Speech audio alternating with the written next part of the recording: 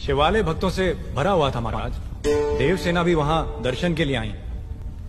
तभी आपके आने, आने का समय हो गया था। तो मैंने उनसे कहा कि वो मुख्य द्वार की जगह दूसरे द्वार से आए।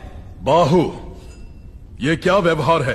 तुम पीड़ित को धमका रहे हो। क्या हुआ था देवसेना? शिवालय में सभी महिलाओं को एक तरफ़ बुलाया।